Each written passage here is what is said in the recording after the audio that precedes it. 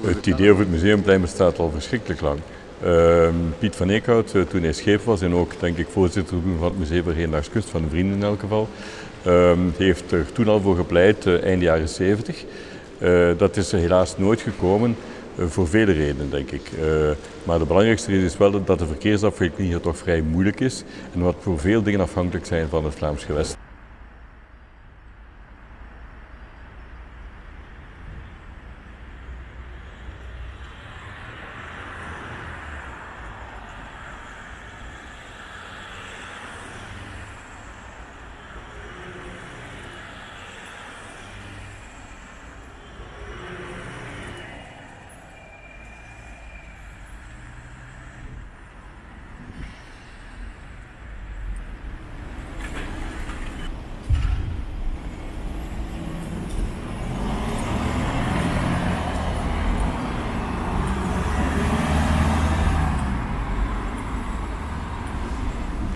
Ze hebben eigenlijk een wedstrijd uitgeschreven. Um, en uh, het moment dat we te horen kregen dat we de wedstrijd gewonnen hadden, um, was de blijdschap dubbel. Uh, omdat we natuurlijk wisten, we zijn jong, dat gaat nog ongelooflijk lang duren. Er gaan nog heel veel uh, bakens zijn, moeilijkheden waar dat we door moeten. En kijk, we zijn denk ik tien jaar later of zo. Um, maar we hebben het gevoel dat het nog altijd leeft. En uh, dat het nog altijd gedragen wordt. En um, dat die openheid dat uh, Jan Hoed beschrijft, wat dat voor hem de kwaliteit was van, um, van het plein, dat die openheid en die invitatie nog altijd bestaat.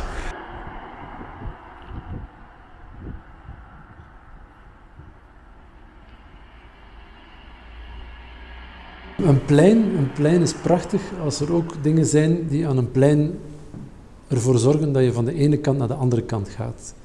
Vandaag ziet dat eruit alsof dat het geval is op het Jan Hoedplein. Je hebt twee musea. Je hebt het Museum voor Schone Kunsten en het SMAK. Het Museum voor Schone Kunsten is een van de mooiste gebouwen als musea in België überhaupt. Maar het SMAK ziet er vandaag uit als een museum, maar is er nog geen. Dus denk ik, als we zeg maar, ehm, de ontwikkelingen binnen het Citadelpark, waar ook het Museumplein een deel van is, zou kunnen vergelijken met een verloop van domino-steentjes, dan is voor mij niet het museumplein de eerste steen, maar het nadenken over een nieuw museumgebouw het eerste. Mhm. En dan heb je natuurlijk, weet je, het GUM komt eraan, het Gens Universitair Museum. Dus we hebben een prachtige cluster, we hebben eigenlijk alle, we hebben alle bloemen om een prachtige ruiker te maken. Alleen moeten we wachten op de juiste persoon die de schikking van de bloemen op de juiste manier gaat doen.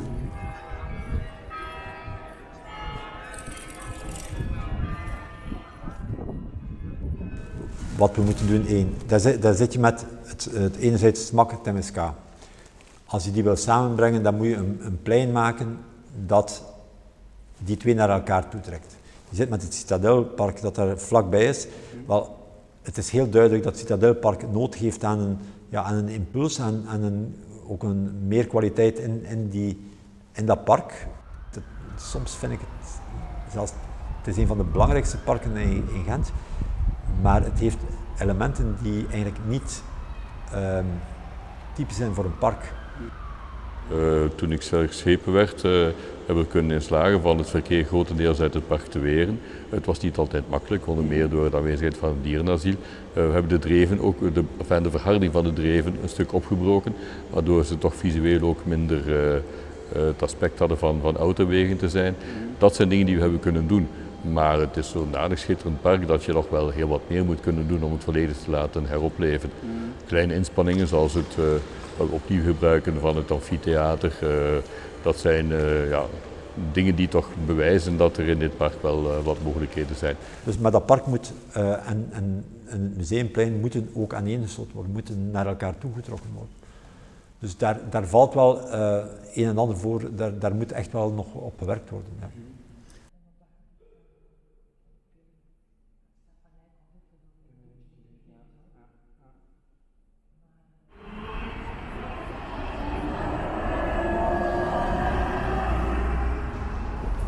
Het idee van de campus Ledenhank, dat moet rond 2010, 11 geweest zijn. Er is al toen ook een soort voorstudie al eens gebeurd met een oefening, wat zou dat kunnen zijn, zo'n wetenschapsmuseum, waar een aantal externe partners ook bij betrokken waren. Ehm, de oprichting of de inrichting van uh, de universitaire musea was het toen nog. Um, dat samenwerkingsverband is door het bestuurscollege, denk ik, zo 2013 of 2012, zoiets, um, goedgekeurd.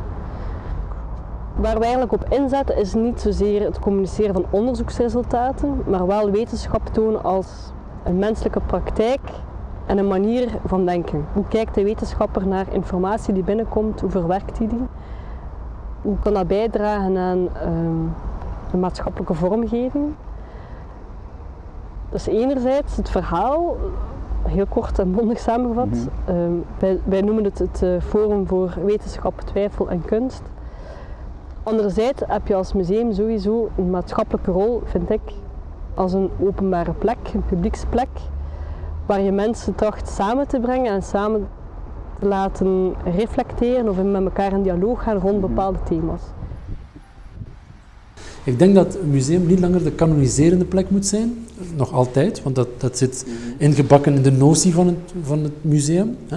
Maar ik denk dat het museum vooral de plek van de twijfel moet zijn, waar je eigenlijk de bezoeker en de kunstenaar het comfort geeft om te twijfelen. Dat betekent om zichzelf een standpunt aan te meten, om zichzelf de vraag te stellen wat door ons getoond wordt voor hem of voor haar een zinvolle betekenis of een zinvolle positie kan zijn.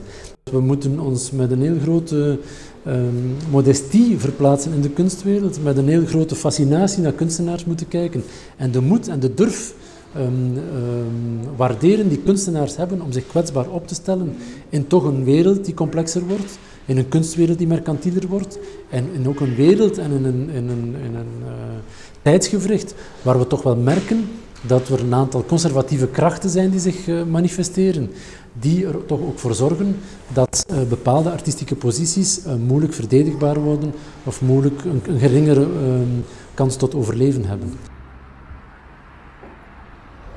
Dus het feit dat verschillende musea naast elkaar gepositioneerd zijn en dat je eigenlijk een soort museumkwartier maakt, dat creëert een interessant gegeven waar je dan verschillende perspectieven op thema's kan gaan bieden.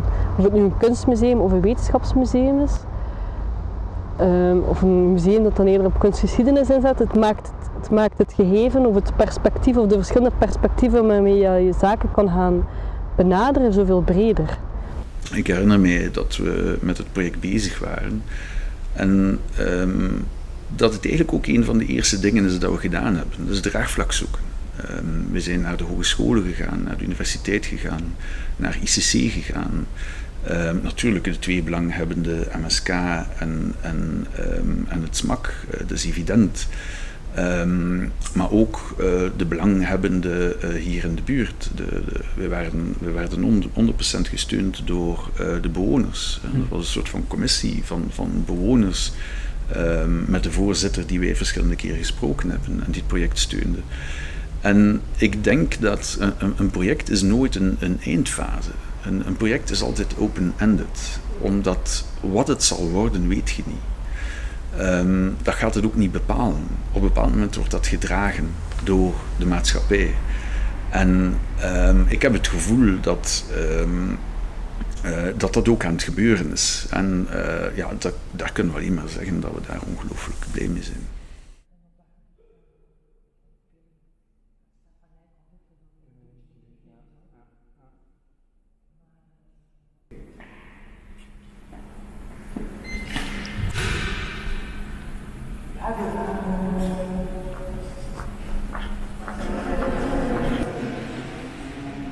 Spreken over het museumplein betekent eigenlijk spreken over een ver verleden waar ik zelf eigenlijk niet helemaal bij betrokken ben geweest.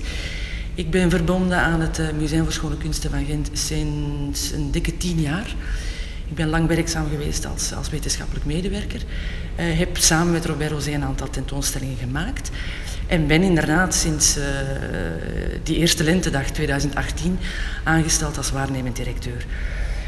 En natuurlijk, ja, het is sowieso, we zitten op een site die mij bijzonder aan het hart ligt. Voor mij is het heel belangrijk om een hele goede samenwerking te hebben, in eerste instantie met het SMAK.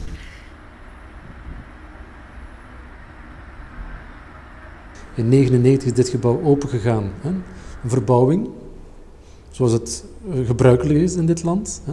Er worden geen musea voor hedendaagse kunst gebouwd. Er worden bestaande gebouwen verbouwd. In Oostende een supermarkt die een museum wordt. In Antwerpen een silo dat een museum wordt. En binnenkort een gerechtsgebouw dat een museum wordt. Hier een, een, weet een feestzaal dat een museum wordt. Maar er is nog nooit een engagement genomen, door wie dan ook, om van nul, van start, na te denken over wat een museum voor hedendaagse kunst zou kunnen zijn. En als er één museum is in dit land waar het zinvol is om dat te doen, dan is het SMAK naar het museumkwartier toe hoop ik dan dat de, de, de, het netwerk dat we hebben uitgebouwd, dat het dan ook echt concreet wordt in dat kwartier. Met, het is ook belangrijk denk ik, dialoog met het Citadelpark en deze plantentuin. Mhm. Waarbij niet alleen binnen in huis je in aanraking komt met objecten, maar ook buiten huis.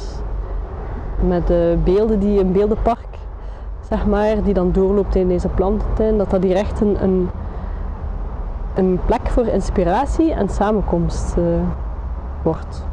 Het is eigenlijk ongelooflijk, nu ik er ook uh, ben aan het, over aan het redeneren, het is eigenlijk ongelooflijk dat een gebied met zoveel kwaliteiten, um, de plantentuin, de parklaan, MSK, SMAK, Citadelpark, Leopoldskazerne, um, dat dat dat allemaal zo versplinterd is geraakt doorheen ja, de, de, de, de jaren.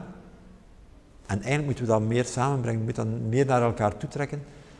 En tegelijkertijd ook maken dat, dat, het toegankelijker wordt voor, voor mensen.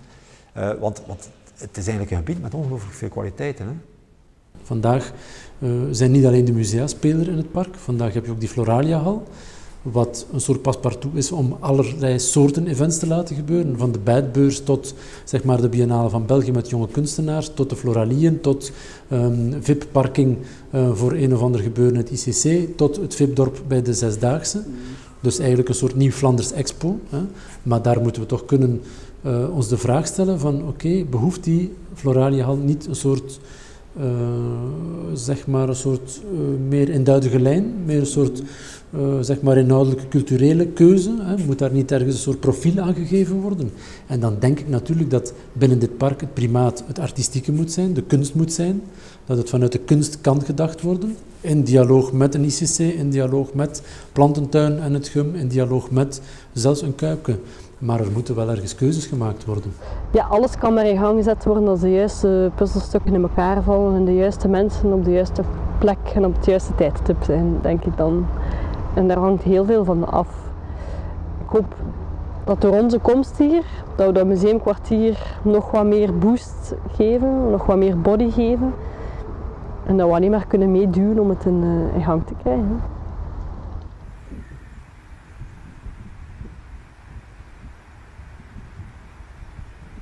Je kunt niet anders dan uh, als je hier komt, dan vinden dat dit een gemiste kans is dat het er niet is. Omdat je, ja, je moet oversteken tussen beide musea. Dat verkeer verstoort je toch ook wel een beetje de sereniteit van de, de hele site. Uh, uh, maar ik blijf er toch in geloven dat het er ooit zal van komen. Ik denk dat het besef nu toch wel is dat we enerzijds de waarde van deze omgeving toch moeten appreciëren. En tegelijkertijd moeten we toch ook beseffen dat we met het verkeer op een heel andere manier moeten omgaan. En uh, dat, dat hier nog zoveel bussen uh, tussen die twee musea rijden, zoveel auto's, dat is echt niet iets dat je als duurzaam kunt beschouwen. Het Citadelpark is een park met twee musea. Hè? Binnenkort drie. Het is een logische habitat hè, voor het smak.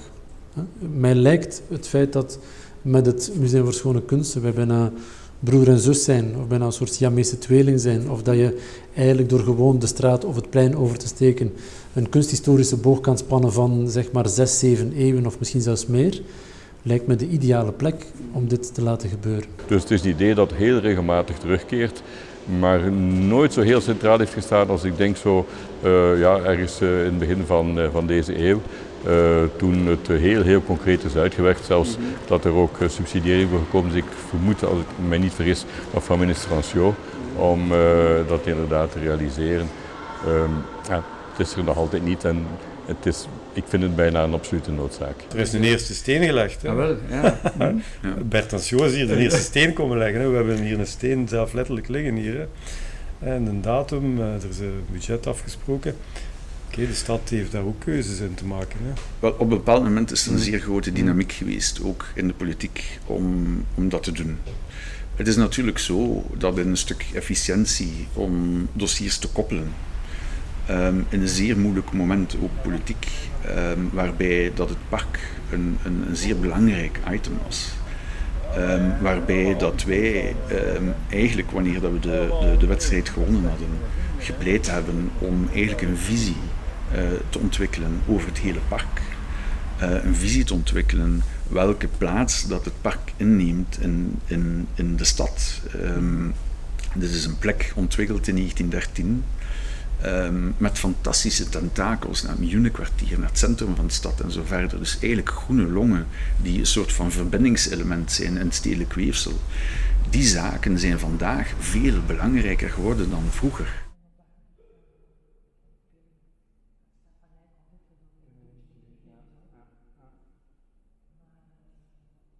Gent heeft het, uh, het grote nadeel gehad van uh, een aantal tramlijnen af te schaffen. Maar Gent heeft ook het voordeel gehad van er maar laat mee begonnen te zijn. Waardoor toch een aantal essentiële lijnen zijn overgebleven. In veel steden van omvang van Gent heeft men de tram helemaal uh, uit de straten gebannen. En is men dan later opnieuw tramlijnen moeten gaan aanleggen. Dat is in Gent gelukkig niet zo, waardoor we toch een aantal grote assen hebben die nog altijd uh, tram zijn. Want de tram is onmiskenbaar het beste openbaar vervoermiddel. Mm uh, maar hier zou je inderdaad uh, lijn 7 moeten hebben als een, een soort verbindingsas tussen de zogenaamde traffic builders. Hè. Dus het station, hier de Heuvelpoort, -hmm. de Zuid, de Dampoort. En dan zelfs nog een stukje verder uh, naar onze deelgemeenten Sint-Amansberg en Oostakker. Je kunt daar eigenlijk uh, wel een hele mooie en, druk beklante lijn van maken. Nu wordt het idee terug opgerakeld en dat is een goede zaak. Uh, er is ondertussen wel natuurlijk één iets veranderd en dat is natuurlijk um, het gegeven van de traminfrastructuur. Um, dus wij, ik ben vanuit mijn bevoegdheid mobiliteit in de vorige legislatuur uh, bezig geweest met, met het ja, proberen de vertramming van lijn 7, van de busbundel uh, 7, van dat terug op hang te trekken. Want het was een idee dat al dateerde van 2003. En dat was heel, ook, ook helemaal stilgevallen. Blijkbaar zijn er toch nogal wat zaken die stilvallen in, in Vlaanderen. Ehm, en dat is eigenlijk vrij goed gelukt. We hebben eigenlijk Hans het dossier van lijn 7 kunnen afwerken en dat ligt nu op de, op de tafel, of dat lag op de tafel van de Vlaamse regering. Ik uh, kijk nu rijkhalzend uit naar uh, de passage in het bestuursakkoord over uh, tramlijn 7 in Gent, als die er komt. En dat betekent dat je eigenlijk het, het, museumplein um, zou kunnen, de, de realisatie van het museumplein zou kunnen ophangen aan de realisatie van, van tramlijn 7. We hebben, er zijn heel veel discussies geweest over het feit dat we um, de tramlijnen over het park lieten lopen.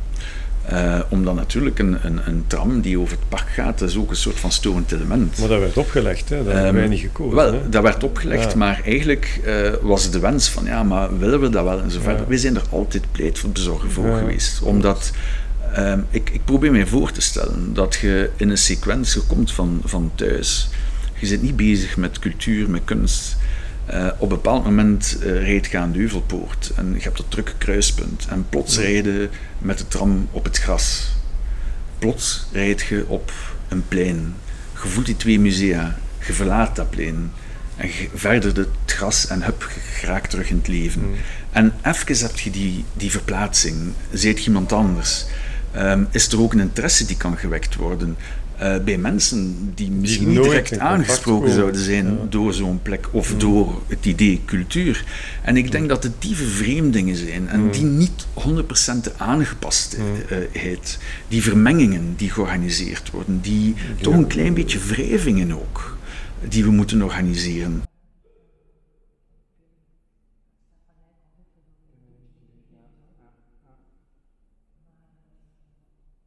Uh, het Museum voor Schone Kunsten vandaag wordt in eerste instantie omringd door het Robert Rosé Park. En dan heb je eigenlijk de straat, die eigenlijk dan die breuk vormt tussen enerzijds het SMAK en het uh, Museum voor Schone Kunsten. een straat die ook twee benamingen heeft. Eigenlijk echt die, ja, die, die, dat eerste stukje, dus de Fernand bedreef. En dan uh, familie van Rijsselbergen komt daar dus achter. Zitten we ook in de 19e eeuw. En dan, als we dan die straat oversteken, aanvankelijk, dan, dan, staan we daar inderdaad op het plein voor het smak, dat vandaag het Jan Hoedplein heet. En aanvankelijk was het het Nicolas de Liemakerplein. Uh, het Museum voor Schone Kunsten van Gent bewaart een aantal altaarstukken van Nicolas de Liemaker. Uh, het was een kunstenaar, uh, zoals ik zei, verbonden aan Gent, van Gent afkomstig. Enorm geroemd door Rubens, door tijdgenoot Rubens. Maar waarom eigenlijk die benaming, dat vraagt inderdaad nog een klein beetje mm -hmm. onderzoek. Mm -hmm. En dan zitten we inderdaad vandaag. Dus Jan Hoed ehm, heeft um, de eer gekregen om inderdaad zijn naam te verbinden. En heel terecht aan het voorplein, zal ik maar zeggen, van het SMAK.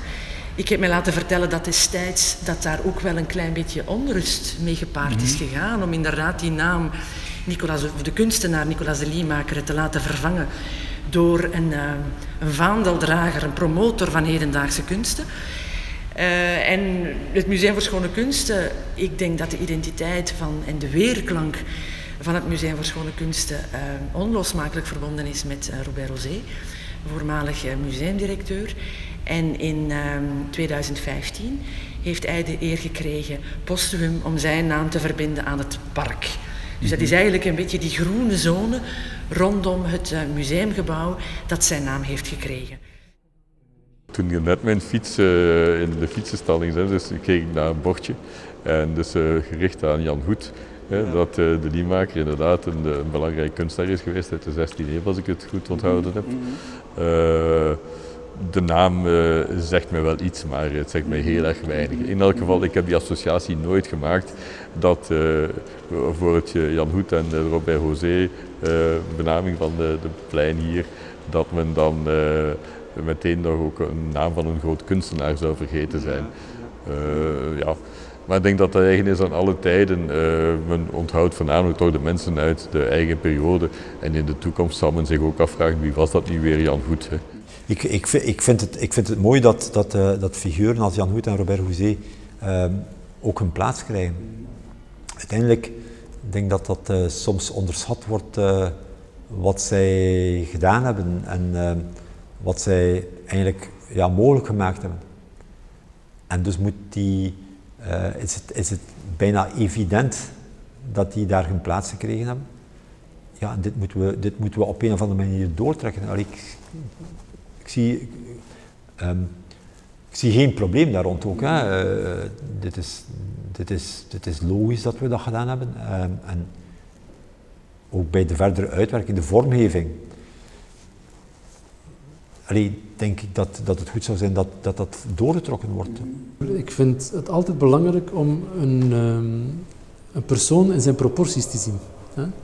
Het is altijd belangrijk om iemand uh, in te schatten op zijn verdiensten, maar er geen mythe van te maken. Ik bedoel, Jan zal altijd de held blijven die hij is, maar het is denk ik belangrijk om ervoor te zorgen dat een, een, ehm, een, figuur in de juiste proportie wordt geformuleerd. Als iemand mij aanspreekt en zegt van ja, Jan Hoed was toch een ongelooflijke persoon, dan zeg ik ja, want over de doden niets dan goed. Maar laten we er ook voor zorgen dat we er geen heiligen van maken, want we hebben al genoeg heiligen op deze planeet. We moeten daar realistisch in zijn. Uh, je zal altijd aan tijdgenoten denken. En je kunt er toch niet omheen dat uh, de twee figuren, Jan Hoed en Robert José, van ontzettend groot belang zijn geweest voor de ontwikkeling van de beide musea. Mhm. En ik vind het ook mooi dat men ook eens uh, die mensen dan een, een naam geeft. Mensen, sommige mensen krijgen een, een, een, straatnaam, sommige mensen niet. Sommige mensen krijgen een standbeeld, sommige mensen niet. Pff, dus, uh, ik, ik, vind het, ik vind het heel terecht dat, uh, dat uh, Jan Hoed en Robert José uh, hun naam eigenlijk uh, ja, een stukje vastgelegd is. Goed, ja, en, ja dat, is inderdaad, je kunt daar vragen over stellen. Wat, wat moet de familie uh, inderdaad van, van Nicolas de Riemaker, wat moet, wat moet, ja, dat, dat is zo. Maar ik heb daar ook geen pasklaar antwoord op.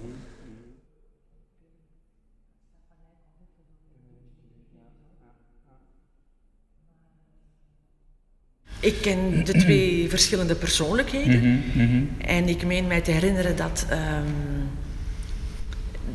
dat is blijven, ja, dat heeft een beetje, moet ik het zeggen, een um, karakter gegeven aan, in het recente verleden, aan die verhouding smak Museum voor Schone Kunsten. Mhm. Dus eigenlijk twee temperamenten, twee karakters, twee persoonlijkheden.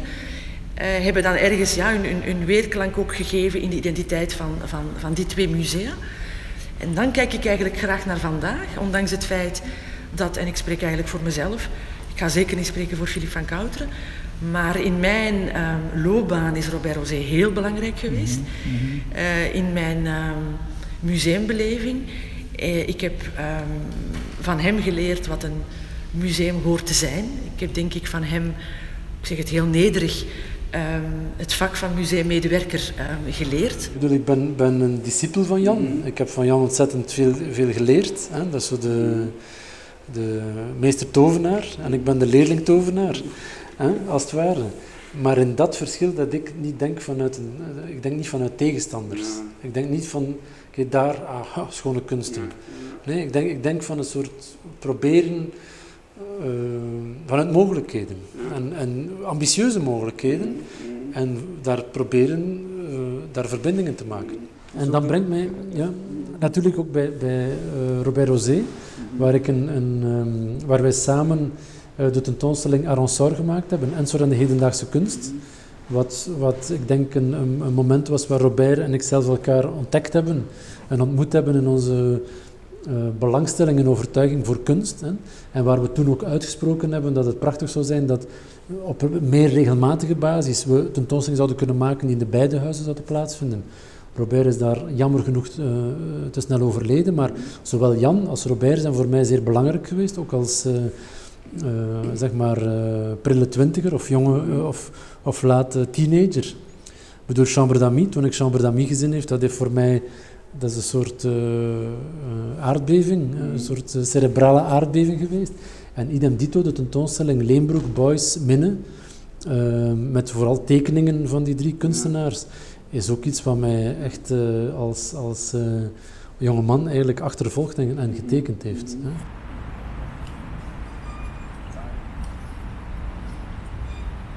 Um, Jan Hut streed natuurlijk al lang voor um, een, een, een, plein, maar die heeft ook gestreden voor zijn museum. Um, maar uiteindelijk dan ook Robert Rosé. Ik herinner mij zijn enthousiasme. Ik herinner mij nog het engagement om om het plein te delen, te communiceren aan de bezoekers, om ook daar gedragenheid in te krijgen. Ik herinner mij Jan Hoete die een tekst schreef, um, niet wetende natuurlijk dat het ooit zijn naam zou dragen, uh, want wij noemen het nu Jan Hoetplein, maar ook het Robert Rosé-park in een gelijkheid. Hè. Beiden delen ze de oppervlakte um, die tussen de musea uh, liggen. Nu, persoonlijk ben ik eigenlijk iemand die um, sowieso niet wil wachten op een museumplein om een, om een werking, een samenwerking te mhm. optimaliseren, uh, te verlevendigen en levendig te houden. Ik weet niet of dat de ideale, ja, dat dat het ideale scenario is. Als ik in die lijn verder ga, hou ik bijvoorbeeld heel veel van het idee van een brug. Eigenlijk een, een, een brug over de weg, mhm. die dan eigenlijk op die manier een verbinding maakt um, voor de bezoeker. Een plein is een instrument. Net zoals een bank een instrument is in een park om te kunnen rusten en toeven. Om ergens op een plek waar je voorbij want te zeggen van oké, hier zet ik mij neer en ga ik genieten van de natuur of van hè, de krant die ik lees of het boek dat ik bij heb. Net zo goed is een, is een plein een functionele aangelegenheid. Hè. Dat heeft natuurlijk met heel wat elementen te maken, met verkeersafwikkeling. Vandaag zie je ook dat het Citadelpark eigenlijk bijna een soort enclave is. Het wordt omringd door zeer drukke banen. Hè. Charles de Kerkhovenlaan, de Hofbouwlaan, eh, de twee musea worden echt doorkliefd door die drukke baan. Ehm, dus een plein kan niet geïsoleerd worden door, ehm, van een verder grondig nadenken over de verdere afwikkeling naar mobiliteit. De link met het Sint-Pieterstation. Dat blijft nu ook eigenlijk een heel... Eh, dat is niet ver van het Sint-Pieterstation naar de twee musea, maar voor veel mensen blijft het nogal een verre afstand. hoe gaat dat plein eruit zien? Dus er zijn inderdaad al een aantal tekeningen gemaakt geweest. Ik vind, dat eigenlijk, ik vind die oppervlakte ook heel groot. Dus eigenlijk moet die ook een beetje aangekleed worden, denk ik. Ik denk dat daar mhm. ook een beetje misschien toch een, een aantal functies in gebracht moeten worden. maar dat praat heel snel met andere zaken. Dat plein mag geen decoratief plein zijn waar we een kermis ophouden, hè, waar we een bloemenmand gaan opzetten. Nee, nee, we gaan hier zelf wel zien wat er gaat gebeuren, wat de museums van initiatief nemen en wat de mens gewoon hier komt doen op dat plein.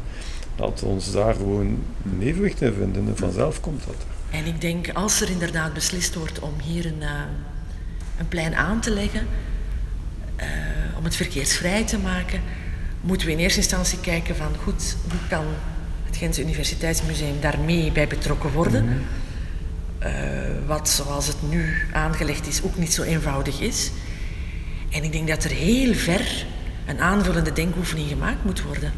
En dan spreken we eigenlijk gewoon over ja, verdere stadsontwikkeling, urbanisatie. Voor mij gaat dat heel ruim naar ontwikkeling van de buurt, de verhouding tot het station, de verhouding tot het centrum. Dus um, als, er die, als die voorwaarde er gaat zijn, als die uitgevoerd gaat worden van kijk, ja inderdaad, we gaan een keer heel ruim nadenken en we gaan ook een aantal zaken garanderen gekoppeld aan dat plein, dan lijkt mij dat prima. Um, maar um, ik laat mij er eigenlijk niet te veel door leiden. Maar het is heel, heel prettig natuurlijk om daar vandaag over te praten. Ja, het leeft nog, mm. maar er zijn twee mensen die er geen vat meer op hebben. En ik zou toch die mensen willen eren. Dat is een fantastische directeur die we weer gehad hebben, mm. Robert José, mm. die tentoonstellingen gemaakt heeft op internationaal niveau.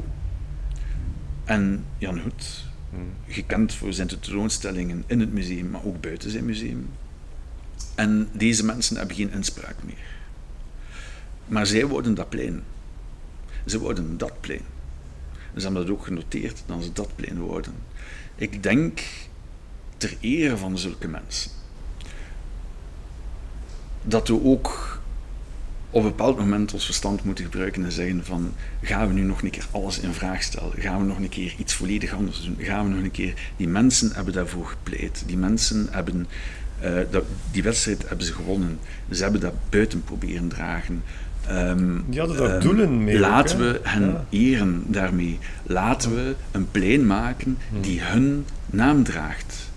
Het Jan Hoedplein en het Robert Rosépark. Hmm. Samen op de bedekking van die kasseistenen op het landschap tussen de twee musea. Ik denk dat dat fundamenteel belangrijk is. En iemand die het initiatief neemt om dat in vraag te stellen, ik denk dat dat zeer geladen is. Mm.